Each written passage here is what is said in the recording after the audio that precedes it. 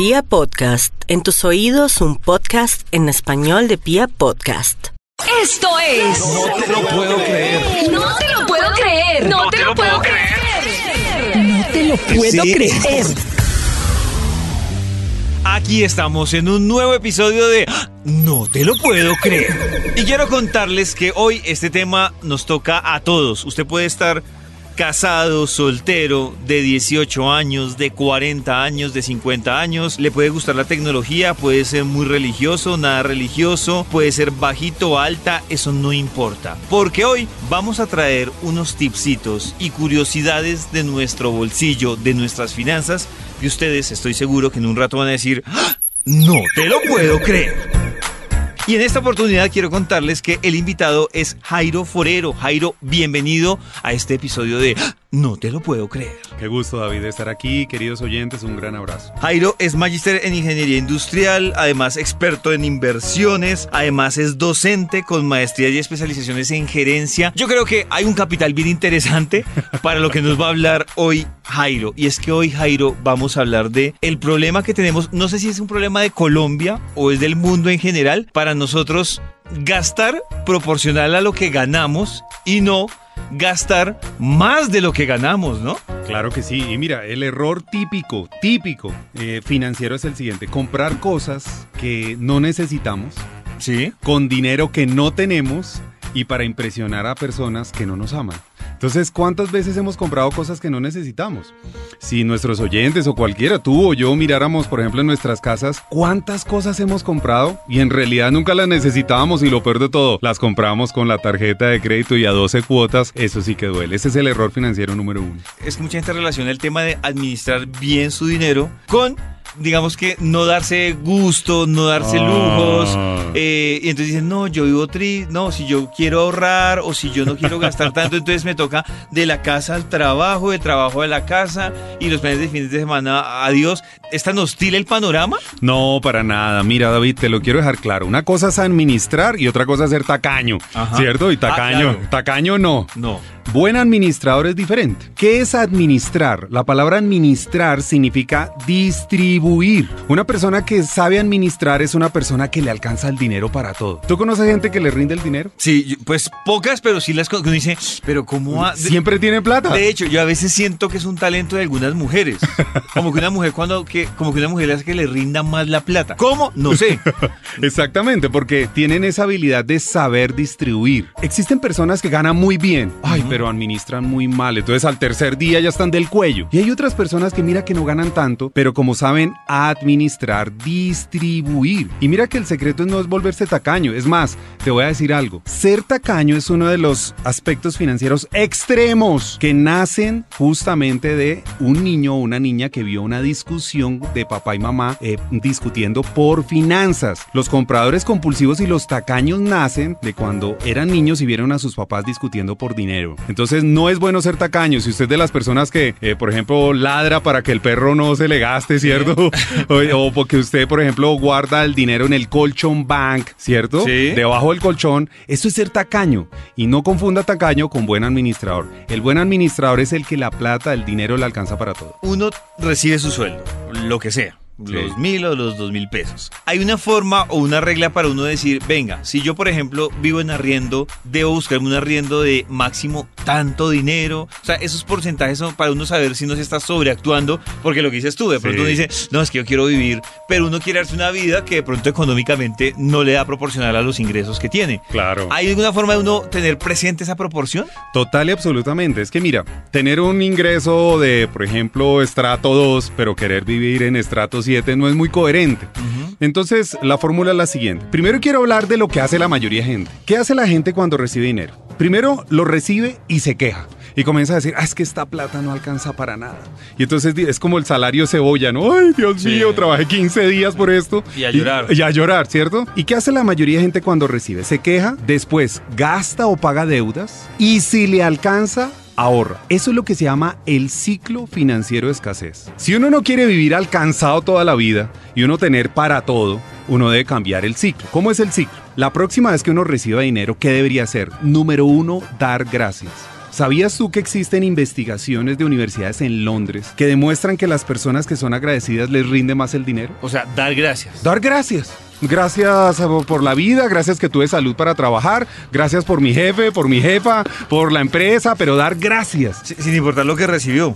Exactamente. Sea poquito o sea mucho, siempre dar gracias. Ajá. Después, ojo con esto. Segunda. Después de dar gracias, debe uno ahorrar. Los ahorros no son para lo último, David. Ese es el error número uno de la Yo gente. pensaba que el ahorro era lo que sobraba. No, para nada, no es lo que sobra, es por adelantado, por eso los ahorros programados son tan buenos. Entonces, ¿uno cuánto debe ahorrar? Mínimo el 10%. Ejemplo, una persona recibió un millón de pesos. Si quiere el ciclo de abundancia, ¿qué va a hacer? Uy, qué bendición, me llegó esta plata, me va a rendir. Entonces, las palabras tienen mucho poder sobre el dinero. Ajá. Si tú dices que no te alcanza, mira, Arrastrado. Ahí estás, ¿ok? Lo que tú digas es lo que tú vives. Entonces, me va a alcanzar 10% de un millón de pesos son 100 mil pesos. ¿Y qué debe hacer uno con ese dinero? Justamente el ahorro se utiliza para, por ejemplo, pagar deudas extra o para invertir. De esa manera es que podemos salir adelante. Ahora, tú me hiciste la pregunta, ¿y hasta cuánto podría, por ejemplo, la persona comprometerse en un arriendo? Sencillo. Después de que sacas el, el- el 10% del ahorro, tomas el resto del dinero y le sacas el 60%. Y eso te debe alcanzar para gastos de vivienda, servicios, todo lo que es la alimentación, lo del mercado, ¿cierto? 60%. En el caso de un millón son 600 mil pesos que tú tienes allí.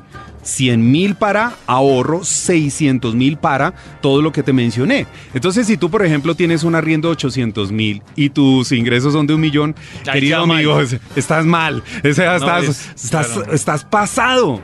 Entonces, por eso es que andas del cuello. Tienes que traer el equilibrio a tu vida, irte a un lugar donde puedas tener, eh, digamos, buenas comodidades, que vivas bien, ¿cierto? Pero mientras que un salario sostiene a una persona, son los ahorros y, los, y las inversiones las que los prosperan. Si yo toda la vida trabajo por un salario y nunca ahorro, va a llegar un momento en que uno se arrepiente. Pero si uno trae el ahorro de primero, antes de gastar, mira, créeme, uno puede ser empleado, uno puede hacer lo que sea, pero uno va colocando un fondo de inversión por aquí, un CDT por acá, eh, llega y uno puede llegar y decir, bueno, voy a hacer un- una inversión aquí y uno poder tener varias fuentes de ingresos. Y de esa manera uno vive mejor. Mira, David, en mis conferencias yo, por ejemplo, le digo a la gente, ¿quién no se bañó hoy? Y entonces todo el mundo, no, todos nos bañamos. ¿En dónde se bañaron? En una ducha. Ah, bueno. ¿Y cuántos chorros tiene una ducha? No, pues un solo chorro. Ese es el problema. Tenemos una ducha financiera. La gente abre la perilla del trabajo y sale un solo chorro, salario. El problema es cuando nos cortan el chorro, quedamos enjabonados con las deudas, ¿cierto? Ah. Es mejor tener varios chorritos, un jacuzzi financiero. ¿Y cómo se logra eso? Siempre poniendo el ahorro de primero. Jairo, ya hemos hablado entonces de el tema de dar gracias, que es fundamental. Súper. De la prioridad cuando uno recibe el salario, que no sea la prioridad pagar deudas y darse gusto, sino el ahorro del 10% correcto. del salario total, del salario total, ¿no? Sí. ¿Y cuál sería el tercer punto? Es fundamental ahorrar 10%, 60% para gastos necesarios, arriendo, servicios, alimentación. Después viene algo que es muy importante que son las provisiones. Porque mira, el dinero si bien es para pagar arriendo, para pagar mercado, también es para disfrutar. Las provisiones corresponden a esos gastos que no son todos los meses, pero que vienen a futuro. Por ejemplo, los regalos de fin de año. ¿Tú sabes cuánta plata se gasta la gente cuando no provisiona los gastos de fin de Pero o sea que uno en febrero o marzo ya debería estar pensando en esos regalos. Claro, mira, por ejemplo, hablemos de una persona que tiene un niño, Eh, un niño en el colegio. ¿Tú sabes cuánto valen los útiles escolares? Entonces, ¿qué pasa? Si provisionáramos mes a mes los útiles escolares, vamos a suponer 50 mil pesos, en 10 meses tiene 500 mil. Cuando llega el momento de pagar los útiles escolares, los paga de contado.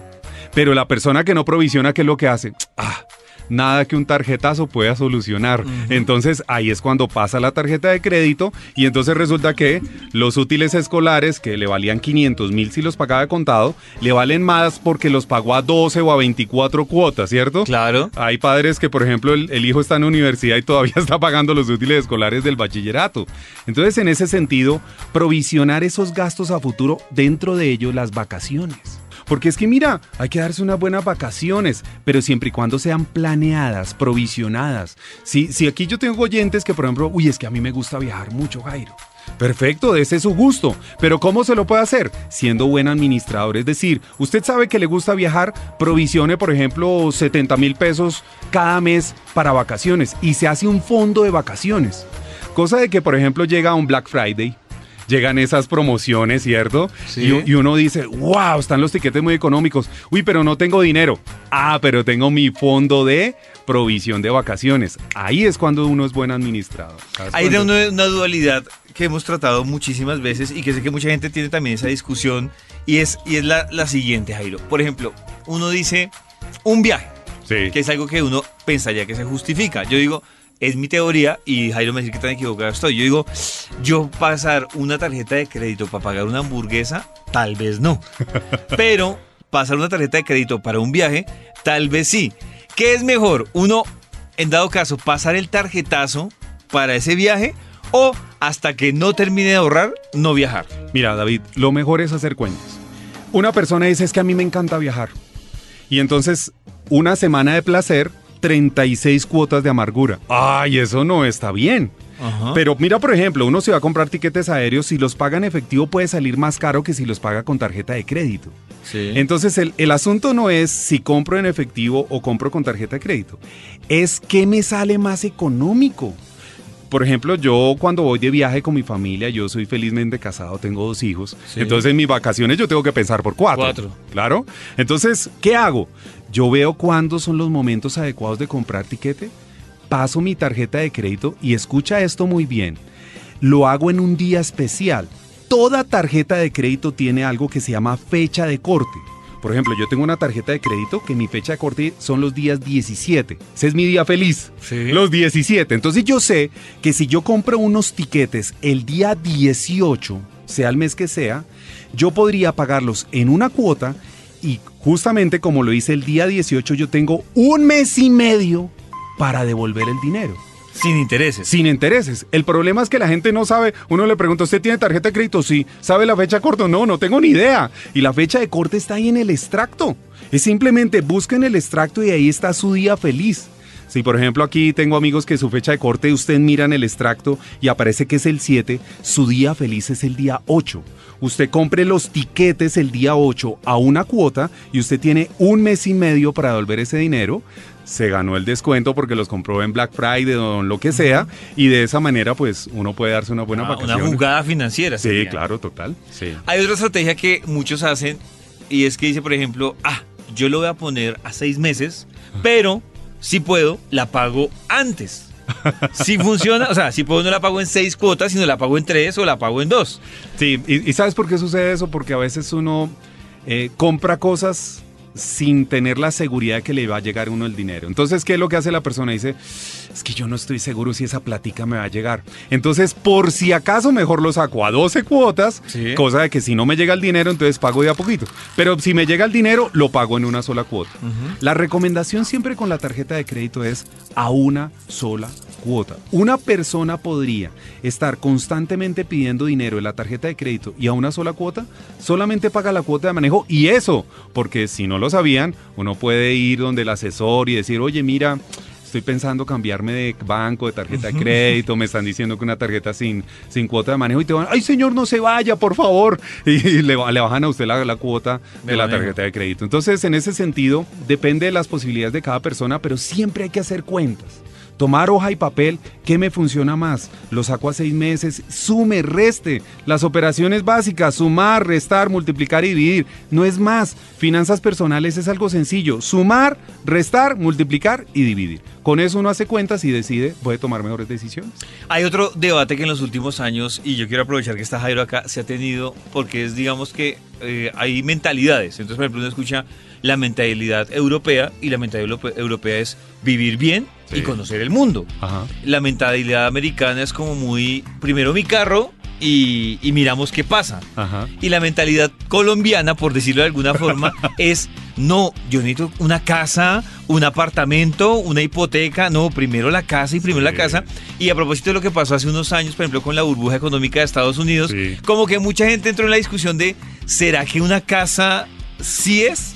La pregunta aquí sería, Jairo, si es el negocio decir, yo tengo que comprarme una casa, si es el negocio, si es por ahí, o, o eso también depende de, de algunas variables de la persona o del Sí. país o de qué, de qué depende uno decir. Hemos tenido casos y uno conoce casos de personas que dicen, no, le aposté toda mi casa y estoy pagando mi casita y es que no hay nada como pagar lo que es de uno, pero otros que dicen, mire, la verdad, yo vivía en arriendo más tranquilo porque vivía donde quería. Ajá. Si sentía que el arriendo me estaba dando duro, me buscaba un sitio más barato, más cercano a la casa, al trabajo, donde mi mamá, y me muevo y, y como que uno los ve también tan feliz. O sea, uno ve tan feliz a- al que está pagando arriendo y cada año se mueve donde se le da la gana, Ajá. pero también ve uno a veces está feliz y no tan feliz al que dice, no, estoy pagando mi casita, no, es que la casita, y otros que dicen, no, me tocó vender la casa porque no daba. Esa dualidad, ¿qué, qué, qué aconseja usted en su experiencia? Mira, David, depende de cada persona. Vamos a colocar un ejemplo. Una, alguien que es un millennial, que quiere estudiar en, en otro país o en otra ciudad eh, y que va a estar movilizándose, ¿para qué se mete en una casa? Una casa amarra. Porque, por ejemplo, una persona saca una hipoteca a 5, a 10 años, significa que va a necesitar estar estable allí. Entonces, no es una persona que esté pensando en estudiar o en viajar o tiene el sueño de, otra- irse a una universidad. Si es un millennial, una persona que está pensando en ello, no compre casa, viva en renta. Ahora, si es alguien que dice, no, es que ya vamos por el segundo hijo, eh, yo ya tengo mi trabajo acá estable, es una persona que quiere, como se dice, echar raíces, cómprese la casa. Entonces depende de la situación de cada uno. Entonces yo debo analizarme, cada uno de nuestros oyentes se debe analizar en qué etapa de la vida está. Usted no está seguro de vivir, por ejemplo, en Bogotá, usted dice, no, yo de pronto quiero ir a un tiempo en Medellín otro tiempo en Cartagena. No se vaya a meter a una casa porque no está alineado a sus propósitos. Entonces uno primero tiene una visión y de acuerdo a esa visión uno define si una casa es realmente una buena inversión. Entonces, si alguien realmente se quiere estabilizar, ahora, eso de comprar casa, que mucha gente dice que eso es el tremendo negocio, hay más de uno que dice, no es tan negocio. ¿Por qué? Porque resulta que comienza a pagar la hipoteca y todo el asunto, y cuando quiere vender, resulta que compró en el lugar que no era. Compró en un lugar que no tuvo tanta valorización, por ejemplo. Entonces, mira que hay que hacer cuentas, tomar un papel y decir, bueno, si yo vivo en mi casa, resulta que ahora tengo que pagar impuestos, el mantenimiento me corresponde a mí, si se daña algo lo pago yo. Ah, bueno, sume. Y hágase una línea al lado y diga, ¿y qué tal si no vivo en mi casa propia? Y ahí coloca, ¿qué pasaría si vivo en arriendo? ¿Qué hago con este dinero? Ah, si lo pongo en un fondo de inversión y lo que me renta el fondo de inversión me paga el arriendo. Haga cuentas. Y ahí es donde uno puede decidir. Cada caso es particular, mira. Por eso se llaman finanzas personales. Porque lo que le sirve a uno no necesariamente le sirve a otro. Cada uno tiene que tomar su propia hoja y analizar qué es lo que más le conviene. Ah, Hace un momento Jairo nos estaba hablando de hacer como la canasta, digamos, de si uno quiere un viaje. Sí. La canasta para ir alistando los útiles escolares del niño, que no lo coja ahí, que no sé, también sería como eh, la canasta del impuesto del carro, entonces Sí. yo voy mensualmente. Eso quiere decir que la otra plata que usted nos habló, ese 10%, que es el ahorro, ese ahorro técnicamente no hay un objetivo puntual. Es Mira. un ahorro como un ahorro sin objetivo. Ok, la provisión sí es provisión de impuestos, provisión de cambio de celular, provisión de vacaciones. El otro, el ahorro, mira esto, escucha esto, la palabra ahorro proviene del árabe. Los árabes, la palabra ahorro la dicen ur, que significa liberar a un esclavo. Tremenda Ah. definición. Ahorrar en árabe significa liberar a un esclavo. Ahora, muchos dirían, pero ¿qué esclavitud hay ahora? ¿Acaso no es una esclavitud que una persona se la pase toda la vida pagando intereses? Eso es una forma de esclavitud. ¿Acaso no es esclavitud que una persona tenga que llegar a los 80 años y seguir trabajando porque la pensión todavía no le sale? Entonces, los ahorros únicamente son, si la persona tiene deudas, para abonar a la deuda que mayor tasa de interés tenga. Para eso son los ahorros. Jairo, yo no tengo deudas, entonces ¿qué hago con los ahorros? Pero yo soy empleado, tengo la ducha financiera, un solo chorro. ¿Cómo puedo tener mi segundo chorro si solo tengo 100 mil pesos? Queridos amigos, venta de catálogos.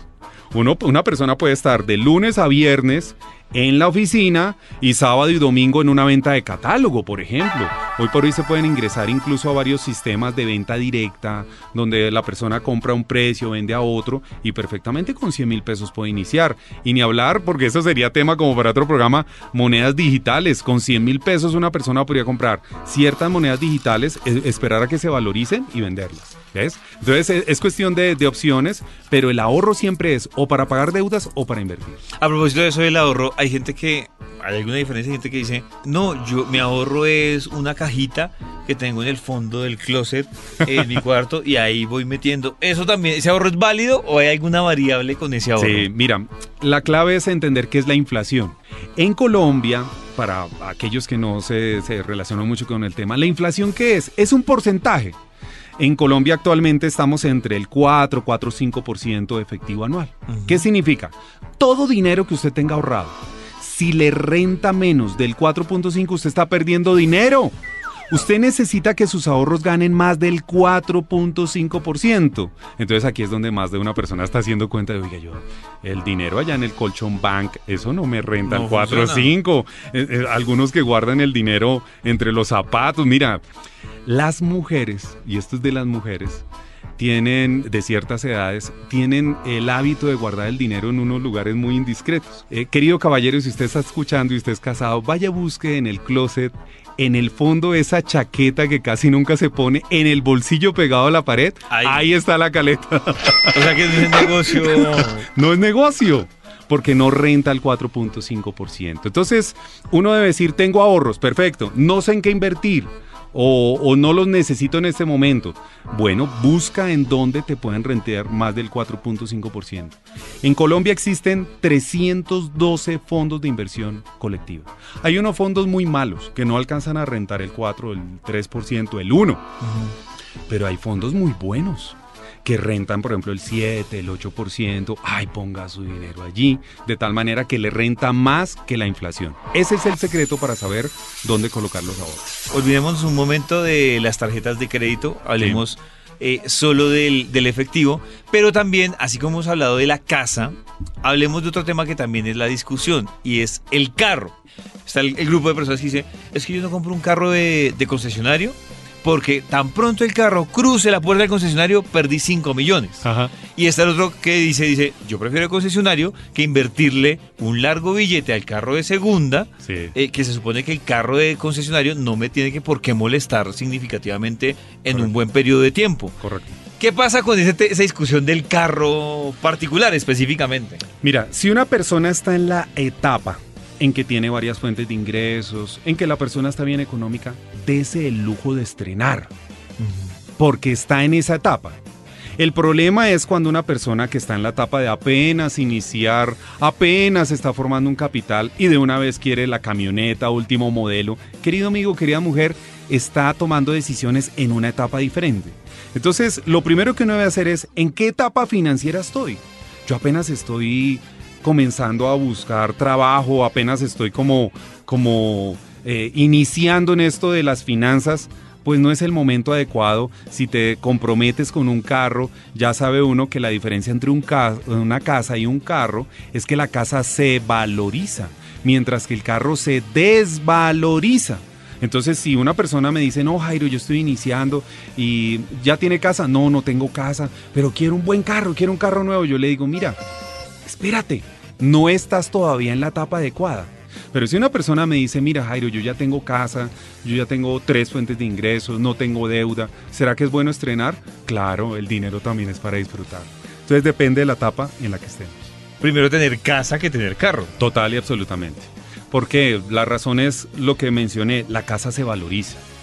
Mira, eh, yo conozco casos de personas que llegaron y hicieron el esfuerzo, ya, ya tenían hijos, no estaban planeando estudiar en otro. No, ellos ya querían Ahí. echar raíces. Y se compraron, por ejemplo, una casa que la lograron, por ejemplo, en 100 millones. Y la compraron en una buena zona. Ahí es la importancia de pedir asesoría. Uno no puede comprar en cualquier lugar. Y entonces pasaron 3, 4 años, la casa ya no vale 100 millones. La casa ya vale 150, 160 millones. Ah, eso se llama valorización. Hagamos el mismo ejercicio con una camioneta. Una persona no se compra el- la casa de los 100 millones, sino la camioneta de los 100 millones. En cinco años, dependiendo de la marca, porque en Colombia existen unas marcas que se desvalorizan más que otras. Yo he hecho el análisis y existen camionetas que pierden en promedio 12 millones de pesos por año. Entonces, si tú la tienes tres años, perdiste 36 millones de pesos en valorización. Entonces, mientras que en la casa te ganaste 50, en la camioneta perdiste 36. ¿Te das cuenta? Claro. Entonces, depende de la etapa. Eso es como primaria, bachillerato, universidad. Entonces, es raro ver a un niño de primaria, uy, no, es que me quiero ir a rumbear, tal cosa. No, no está en la etapa, claro. Eso es lo que sucede. Identifiquemos en qué etapa estamos y tomamos mejores decisiones. ¿Hay alguna forma organizada de uno endeudarse? Es decir, voy a esto, porque uno ve que está el que compró su casa y está endeudado. Sí. El que buscó otra deuda por un viaje eh, pero entonces uno va como dividiendo dice, no, es que esta es una deuda más pequeña. ¿Cuál es el mundo ideal en términos de deudas? Primero, el límite en el cual uno se puede endeudar. Es decir, sí o sí, hay momentos en que uno se endeuda, eso es algo inevitable. Y mire, no le tenga miedo a las deudas. El problema no son las deudas, es que usted tenga la inteligencia financiera para poderlas manejar. ¿Qué cuenta debe hacer? El número ideal es máximo 10%. ¿Qué significa eso? Si usted se gana un millón de pesos, máximo las cuotas o los pagos que usted debería tener que no pasen de 100 mil. Eso es, eso es un endeudamiento ideal. Ahora, el límite está en el 30%. Entonces, por ejemplo, una persona gana un millón de pesos, sus cuotas o pagos mensuales no deben pasar de 300 mil, que es el 30%. Ya si se pasa al 30%, querido amigo, querida mujer, usted se pasó, está en un semáforo en rojo, cuidado porque se puede estrellar. Ojo con esto, David, que voy a comentar. Son los tipos de deudas. Existen dos tipos de deudas.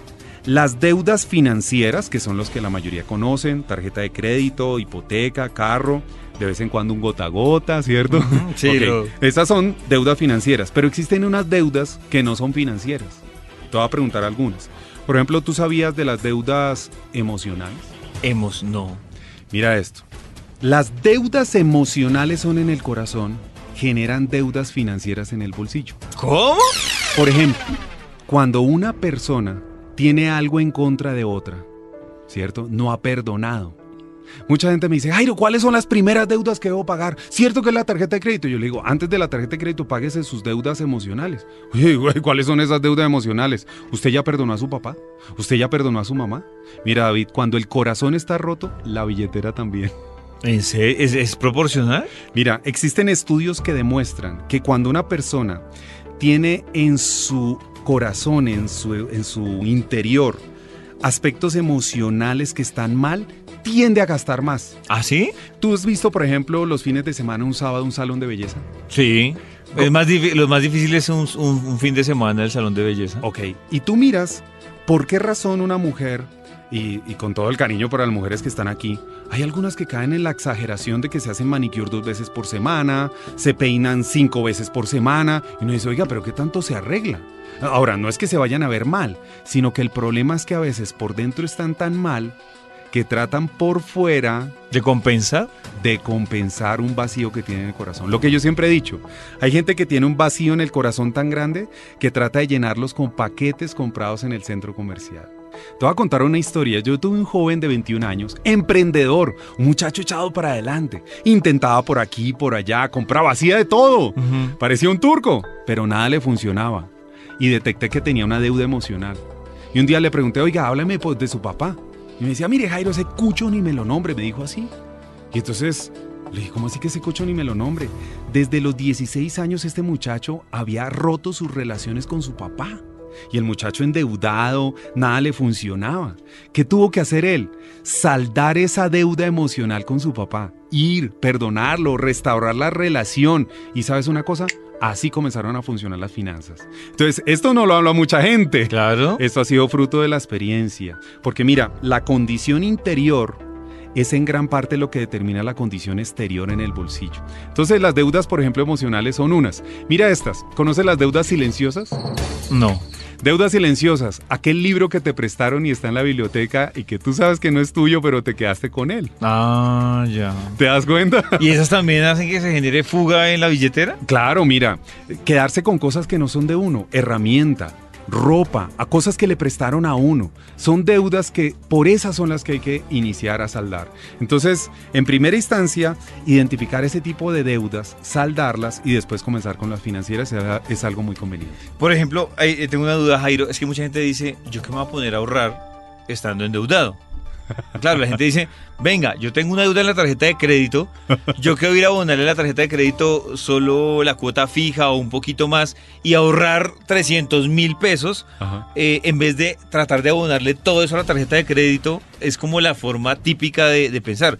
Así uno tenga sus deudas, uno debe tratar de cumplirlas, pero sí o sí, el ahorro Mira, cuando una persona tiene ahorro, el ahorro es para pagar la deuda más cara. ¿Por qué?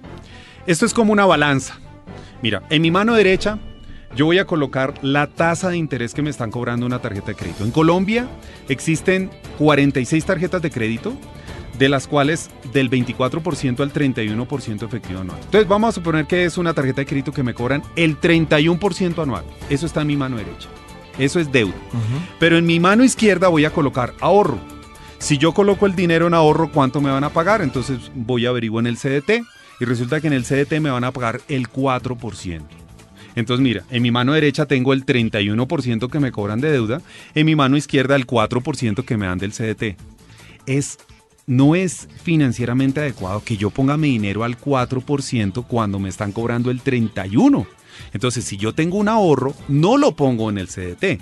Yo tomo ese ahorro y se lo abono a esa deuda que me están cobrando el 31 porque me es financieramente mejor. En pocas palabras, cuando uno tiene ahorros, uno lo coloca en la tasa de interés más alta.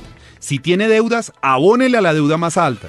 Algunos estarán diciendo, Jairo, es que yo tengo un gota a gota y mi, interés es muy bajo, no es del 31, es del 1%, pero diario. Ah, Entonces, ¿qué significa? Que debes de una abonarle a esa, a esa, a esa deuda. Entonces, si has escuchado ese dicho de que el que peca y, reza, empata, entonces algunos dicen el que se endeuda y ahorra empata, eso no aplica. A no ser que alguien me diga, no, es que Jairo, en esta inversión me va a ganar el 50%. Ah, eso es diferente porque si te vas a ganar el 50% y la tarjeta de crédito es el 31%, mete el dinero en donde te van a dar el 50%. Eh, la otra que pasa, que uno escucha mucho, es el tema de el el diario La Plata de Bolsillo. Entonces que la gente dice, es que yo siento que yo no compro grandes cosas, es decir, no compro un carro, no compro una casa, eh, no, no, ni siquiera he pagado un viaje, no he ido a comprar ropa, no he ido a comprar muebles y en el día a día se me va la plata. ¿Qué pasa? Mira, se llaman los gastos hormiga. Son gastos pequeñitos, pero son tan numerosos. Ejemplos de gastos hormiga, las galguerías, que el tinto, que la empanadita, que me gusta la gaseosita, que una cosa y otra. Cuando uno suma, es una cantidad de dinero. Una vez le hice un cálculo a una persona que le gusta fumar. Y esa persona, mientras yo le estaba haciendo el entrenamiento personal, se fumó dos, tres cigarrillos ahí, rapidito. Entonces le dije, ¿usted cuántos cigarrillos consume al día? Entonces le hice el cálculo cuánto valía cada cigarrillo y le hice cálculo en el año cuánto dinero era. cuando, cuando le dije eso, el cigarrillo se le cayó y algo así como que no te lo puedo creer, ¿cierto? Porque claro, a veces decimos, ay, pero es que es un tinto. Sí, pero es que usted se consume 40 tintos al, al mes y cada tinto lo pagan mil pesos, ya van 40 mil. Y usted, ay, pero es que es una empanadita, vale dos mil pesos. Sí, pero es que usted se consume 27 empanadas al mes. Entonces, cuando uno toma los gastos hormiga y los multiplica, es mucho dinero. Para eso yo tengo un ejercicio muy bueno, David, y se lo voy a dar aquí a todos nuestros amigos. Se llaman los tickets financieros. Es sencillo. ¿Qué hace uno? Hoy mismo, toma uno un cuaderno o toma unos POSIT y todo gasto que uno haga, uno lo anota. Que un agua, anótela. Eh, una mujer que me dice el manicure, anótelo. Que me compré unos chiclets, anótelos. Todos, todos, todos. Durante 30 días, David. Y mira, uno lo que hace es, por ejemplo, en el día uno toma, por ejemplo, su Sposit, eso es ideal. Y entonces anota todos los gastos, tanto en taxi, tanto en Transmilenio, el gasto que sea. Y entonces uno va colocando en una bolsa que la colocan en la mesa del comedor. Todos los días va colocando ahí sus tickets financieros. A los 30 días, tómese dos horitas, siéntese y usted va a tomar y, va a sumar cuánto fue en Transmilenio, cuánto fue en empanadas, cuánto fue en tintos. Y mira, uno se sorprende, uno abre los ojos que uno dice, ¡Ah! mira, no te lo puedo creer. Mira, la primera vez que yo lo hice, mi hijo menor estaba pequeñito y a él le encanta la pizza. Y resulta que hicimos nuestros tickets financieros. Mira, no te lo puedo creer. Lo que nosotros nos gastábamos en pizza. Harto billete. Mucho. Y uno cree, ay, pero es que es una pixita. Una. Pero es que todas las que te comes. Esos son los gastos hormiga. Mira, los gastos hormiga suceden, por ejemplo, cuando la persona sale tarde. Si la persona saliera temprano, podría, por ejemplo, ahorrarse y no tener que estar tomando eh, un transporte mucho más costoso, por ejemplo. Eh, todo lo que es galguerías, eh, todo lo que es, por ejemplo, cuando las personas consumen mucho teléfono celular y, por ejemplo, tienen que pasar una tarjeta prepagada y todo el asunto. Son esos pequeños gastos. Para detectarlos se utilizan los tickets financieros y al mes uno se puede dar cuenta claramente cuáles son esas fugas de dinero sobre las cuales uno puede ahorrar mucho. Jairo, en su experiencia, ¿usted cree que gastan o malgastan más el dinero los casados o los solteros? Mira, hay solteros que administran muy bien y hay otros que administran muy mal. Y, y hay casados, yo he conocido parejas muy organizadas, pero hay otras que son un desorden completo. ¿Cuál es la diferencia? Existen personas que legalmente, ¿cierto? El acta de matrimonio dice que están unidos pero financieramente están divididos. Se casaron y tienen argolla de matrimonio, viven juntos, cocinan juntos y todo el asunto, pero siguen administrando como si estuvieran solteros. Tanto así que nosotros tenemos un curso prematrimonial financiero y me lo pagan los papás. Por ejemplo, los papás me contratan y me dicen, miren, entrénenme estos jóvenes porque se van a casar. Y claro, una cosa son las finanzas de soltero y otra cosa son las finanzas de casados. Consejos, mira, por ejemplo, para solteros y que, por ejemplo, están enamorados. Mire, por favor. Para solteros. Para solteros. Usted que está soltero y es que usted dice, uy, no, Jairo, es que esta es mi princesa, yo me voy a casar con ella y todo eso. Y usted dice, vamos a hacer un ahorro en común. ¡Ey! Quieto ahí ustedes supieran la cantidad de gente que eran novios, estaban enamoradísimos, se iban a casar, hicieron un ahorro conjunto y entonces el uno ponía 50 mil, el otro 70 mil y todo el asunto, pero resulta que terminaron y ya no se casaron. Vaya desenrolle ese rollazo, ¿cierto? De que tenían dineros en conjunto. Si usted tiene novio, si usted tiene novia y no se ha casado, cada uno maneje su dinero por separado. El día en que se casen, ahí deben manejar el dinero unidos, ¿cierto?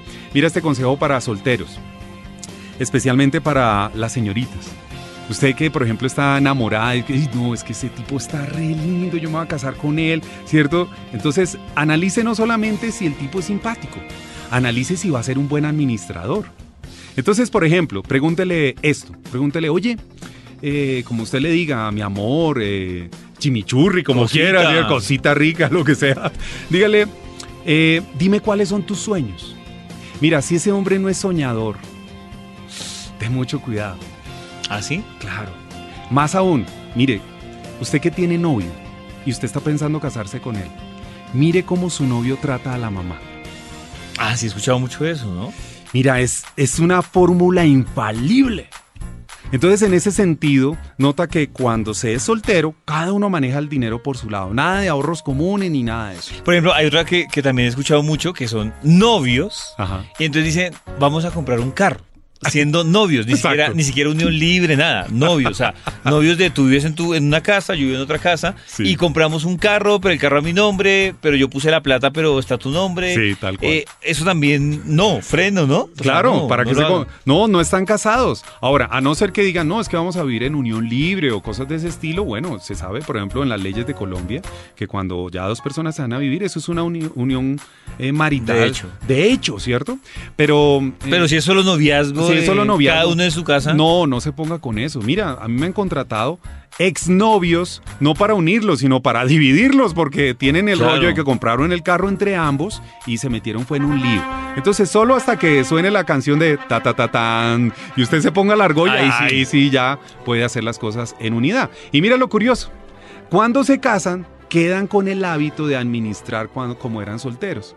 Entonces, eh, ya casados, entonces empiezan a decir, no, usted paga el colegio, yo pago la ruta, usted paga la luz, yo pago el agua. ¿Cómo debe ser eso entonces? Claro, mira, lo ideal. Ojo, porque aquí yo tengo personas que posiblemente me están escuchando y ya tienen 10 años de casado y dicen, oiga, es que usted no sabe. Y les ha funcionado otra cosa. Y les ha funcionado otra cosa. Pero lo ideal es que desde el primer día de matrimonio, una sola bolsa. ¿Por qué? Porque ya no es el dinero de ella ni el dinero de él, es el dinero de la familia. Y en especial esto, en toda familia existe un león y en toda familia existe un castor. El león es el perfil financiero de aquella persona que tiene olfato, visión. ¿Conoces gente que, por ejemplo, ve negocios por todo lado? Mm. Esas personas que son comerciales, son así vendedoras y Sí. todo el asunto. Esos son los leones, son emprendedores de por sí. A veces es el hombre, a veces es la mujer. El perfil león financiero es muy bueno, porque el perfil león es el que busca ingresos, es la persona emprendedora, tiene una gran debilidad y es que tiende a ser sordo o sorda. Usted le dice a un león, mire, no lo haga y el león va para adelante. Entonces, el león es bueno para producir. El castor es el perfil típico de aquella persona que es detallista. Esas personas que, por ejemplo, cuando toman nota, el título es en rojo y el, el- el texto Ah, y en la negro. letra en otro. Y esa letra que parece que fuera Arial 12, Sí. ¿cierto? y que las camisas las doblan exactica. Esos son castores. Mira, a un león se le olvidan las fechas de cuando se casaron. Un león no sabe, no se acuerda los nombres. Un castor se acuerda de todo, es detallista. Si por ejemplo están haciendo cuentas y se perdieron 50 pesos, el castor dice, no salimos de este lugar hasta que aparezcan los 50 pesos. El castor no es bueno para producir. El castor no se le ocurren ideas. Y no es malo. Porque un perfil castor no es creativo. Pero un castor es bueno para administrar. Entonces cuando en pareja entendemos eso, y entonces se unen y dicen, bueno, ¿tú qué eres? "Eh, no, pues la verdad es que yo soy más león. A mí me gusta emprender, pero soy desorganizado. En cambio tú eres muy organizado, eres muy organizada. Entonces ahí se establecen roles, como los equipos de fútbol. Definir quién es arquero y quién es delantero. Y cada uno a cumplir bien su función. Leones y castores es lo que hace que las familias tengan mayor O sea que es un peligro que ambos sean leones. Claro. Y yo he tenido parejas de leones. El hombre bien león, la esposa bien leona. Entonces, ¿qué tienen que hacer? Pues si ambos son leones, producen mucho, pero administran muy mal. Entonces, ¿qué tienen que hacer?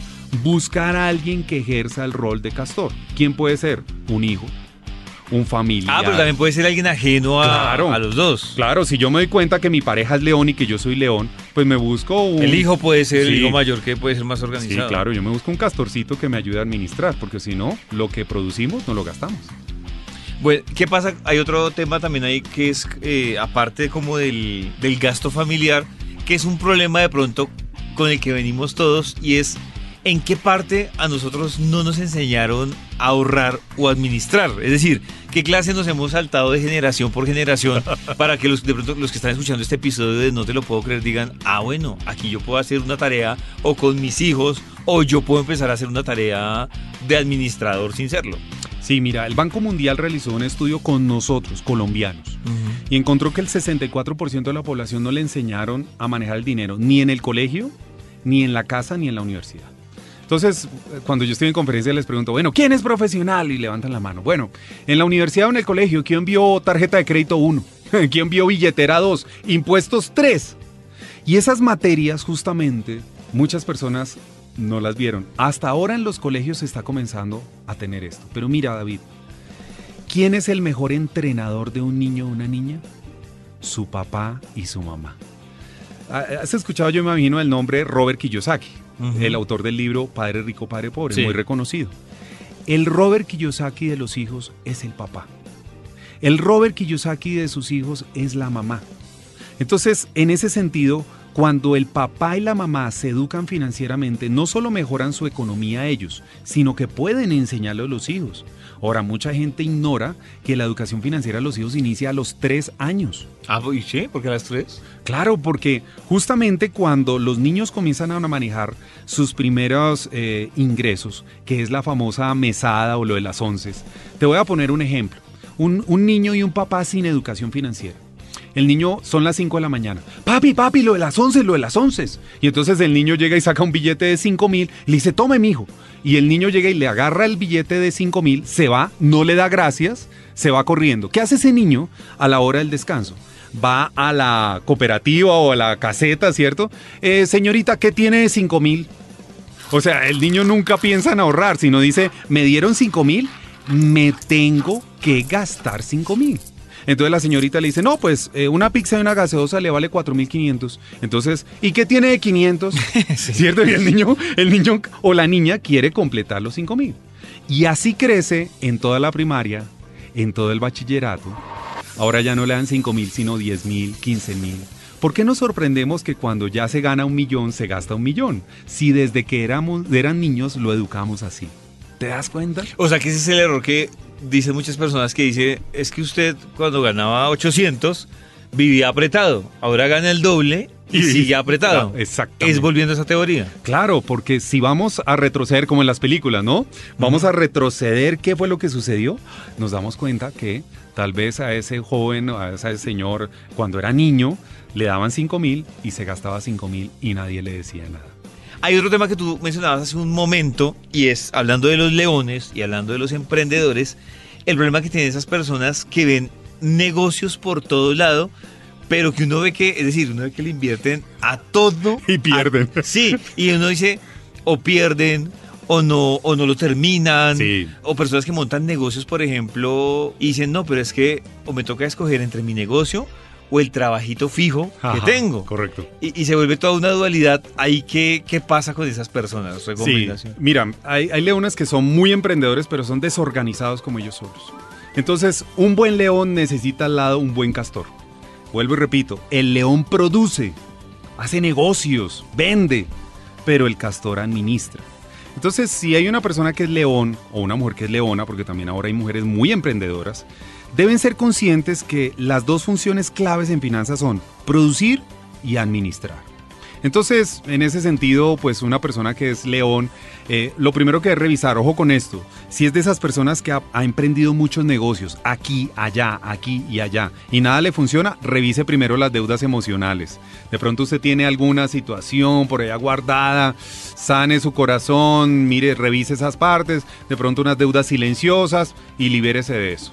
Segundo, revise si usted tiene una persona que le ayuda a administrar ya sea su pareja, sea un hermano, una hermana, alguien que sea ordenado. Los leones deben reconocer, mira, yo soy león, por ejemplo. A mí me gustan los negocios, me gusta producir, pero yo debo reconocer que, por ejemplo, mi esposa es más organizada que yo. Entonces, en ese sentido, ahí es donde hacemos equipo, trabajo en equipo. Entonces, todo león debe tener un castor para que le rinda el dinero. Y bueno, hay otro tema, Jairo, que obviamente uno no puede dejar pasar, y es el tema de las personas que sienten, es decir, que dicen más o menos lo que hablábamos al principio del sueldo cebolla, que dicen, eh, yo lo recibo y lloro, porque así como lo recibí, Uy, sí, es muy duro eso. no lo voy a ver. Sí. Otros peor aún que, aún recibiéndolo, van a tener que pedir prestado y además que uno siente que son personas que se les vuelve un círculo vicioso porque, es decir, recibo para pagar y pago para que me presten Sí. y me presta y espero que reciba. ¿Dónde estará esa fuga en ese tipo de personas que, Sí. que llevan, no sé, tal vez años en el que nunca han dicho un mes, oiga, me sobraron 10 pesos? Mucha gente me pregunta, Jairo, ¿tú cómo terminaste siendo entrenador financiero personal y familiar? Y lo que mucha gente no conoce es mi historia. Yo viví en carne propia, yo aprendí la palabra deudas, no fue en el colegio. ¿La palabra embargo no la aprendí en el colegio, fue justamente con mis papás. Pasé pasamos por una crisis financiera mis padres impresionante. Y cuando yo me encuentro una pareja, un- una persona, un joven, eh, un- un- una mujer endeudada o endeudados, yo lo primero que pienso es en lo que sufre una persona así. Mira, hay gente que por fuera sonríe, pero como dicen por ahí, la procesión va por dentro. Y hay gente que no puede dormir. ¿Tú sabías que la causa número uno justamente de migrañas, enfermedades relacionadas con eh, úlceras gástricas, eh, toda la parte de estreñimiento es justamente el estrés financiero? En Estados Unidos desarrollaron una investigación cuáles son las principales causas de, de estrés. La que quedó en segundo lugar justamente son los temas financieros. Entonces, cuando yo le hablo a una persona así, la entiendo, porque no es fácil. Y lo más tremendo, han caído en un círculo y no saben salir de ello. Tienen tantas cuentas por pagar que dicen, Dios mío, No va a poder salir. no, no voy a poder salir. Y son personas que lo primero que tienen que recuperar son la- es la esperanza. Darse cuenta que sí existe una, una puerta de salida a todas sus deudas. Justamente en estos días voy a dictar un, un seminario y lo voy a hacer gratuito para quien quiera ingresar. Y lo llamé así, la puerta de salida a todas tus deudas. Voy a estar con una abogada que sabe de todos los temas de insolvencia económica, data crédito, esas leyes que la gente no conoce porque si, si hay personas acá que sufren eh, porque les cobran mucho, existen leyes que lo defienden a usted, querido amigo, querida mujer. Entonces voy a hacer justamente ese, ese webinario, ese masterclass, para que ayudar a la gente. Porque mira, existen 25 causas diferentes del por qué una persona puede caer ahí.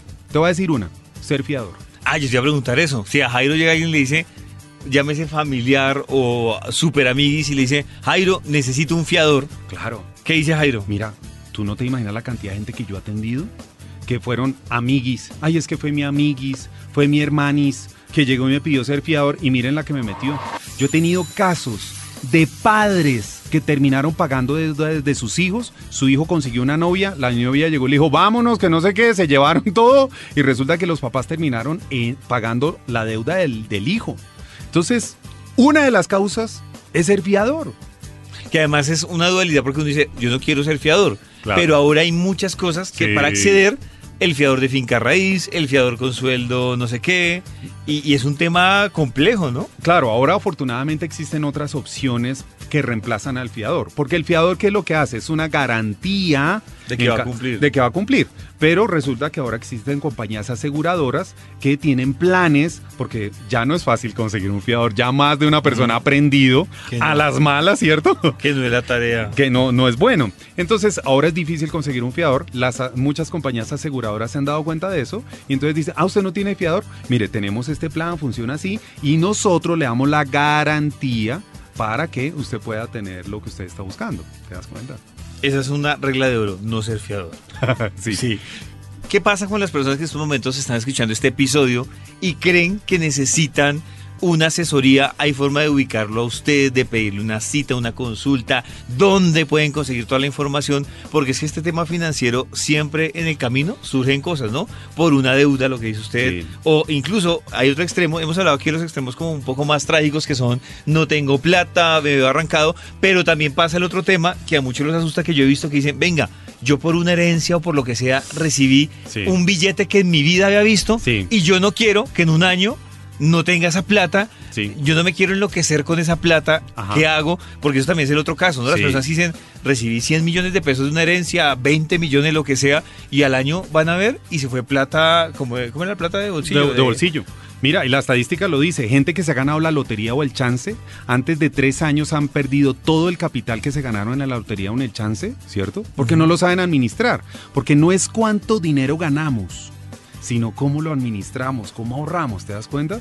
Así que para mí será un honor poder ayudar a cualquiera de nuestros oyentes, poderle ayudar, orientar, darle una luz. en- Entonces dice, por más que yo esté endeudado, sí hay una salida. Sí, claro, yo he atendido gente que, no, digo aquí las cifras porque Que la mala. los ceros no entran por el micrófono, ¿cierto? Que la Pero- mala. Muy mal, pero siempre hay una puerta de salida, siempre. ¿Y dónde lo pueden localizar? ¿Cómo hacen esas personas para que tomen nota en este episodio? Bueno, en primera instancia les invito a que lleguen a mi página, Sí. www.porfinlibredeudas.com.